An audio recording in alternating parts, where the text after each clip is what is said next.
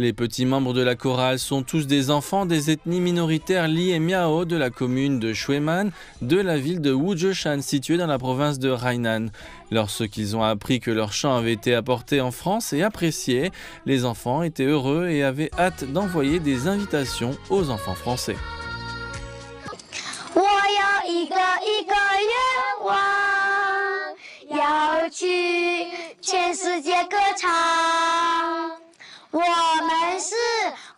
五指山黎苗童声合唱团。非常高兴你们能喜欢我们的歌。我们以后还会唱更多关于五指山的歌唱给全世界听。也欢迎法国的小朋友来海南来五指山玩。参加我们这里的三月三节来体验我们这里的民族文化。五指山欢迎 Chantons la montagne Wuzheshan à la France a été composé à l'initiative de la ville de Wuzheshan pour le 60e anniversaire des relations diplomatiques entre la Chine et la France. Le morceau est inspiré de la chanson française Si j'allais en Chine.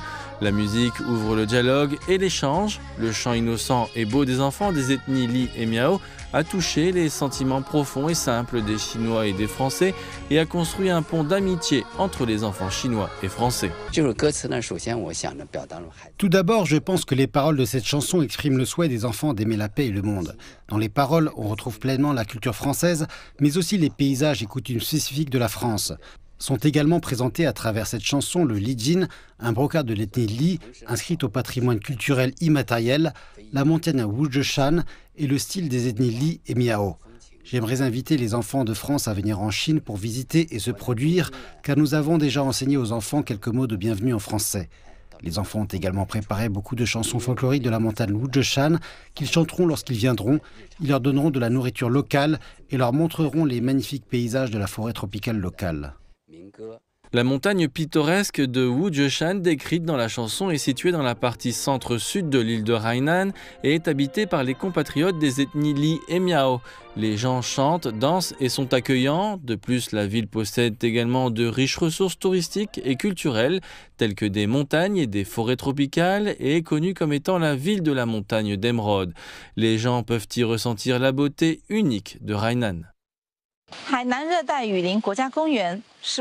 Le parc national de la forêt tropicale de Hainan est l'un des premiers parcs nationaux officiellement annoncés en Chine et l'une des régions les plus connues pour la biodiversité en Chine. Nous sommes également impatients d'explorer et de coopérer avec la France et d'autres pays ou régions représentatives dans le domaine de l'environnement écologique mondial pour mener des explorations et des coopérations approfondies dans le domaine de la protection de l'environnement naturel et de la biodiversité.